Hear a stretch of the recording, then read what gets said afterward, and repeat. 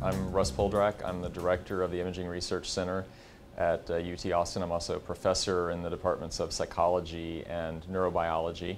Um, and uh, I've uh, been at UT since uh, September of 2009. And um, at the Imaging Research Center, we uh, do research using magnetic resonance imaging uh, primarily to image the function and structure of the brain to try to understand both how the brain works in its normal state and how it stops working in various types of disorders, such as psychiatric or neurological disorders.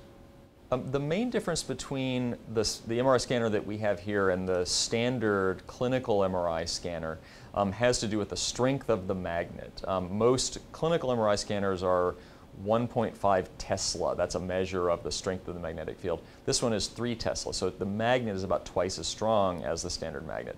And what that lets us do is see aspects of brain function with more clarity than one could with the standard clinical MRI scanner. Um, it's really revolutionized the way that we understand the brain, um, both the normal function of the brain and how it uh, goes wrong in uh, psychiatric and neurological disorders. So what we can do with MRI is particularly look at the function of the brain. Um, you know, up until MRI was invented, it, we really didn't have any way to look at how the normal brain functions without, you know, cutting and looking inside of it.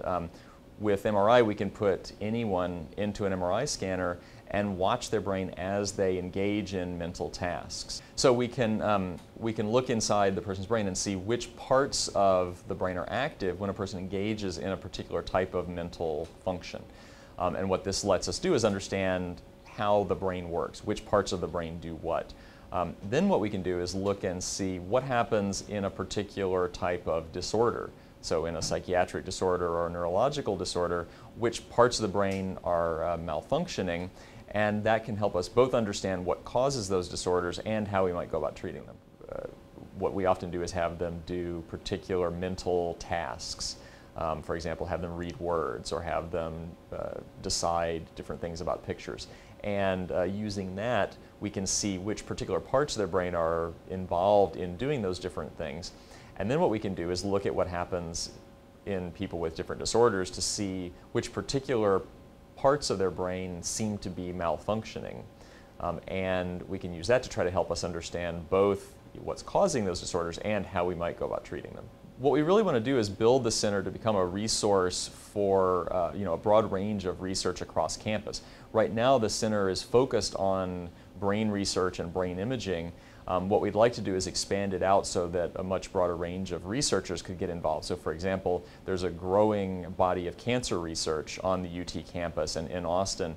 And um, what we'd like to do is provide resources to, um, to allow those uh, cancer researchers to also take advantage of, of MRI and of other types of imaging techniques that can be useful for measuring both the mechanisms of cancer and cancer treatment.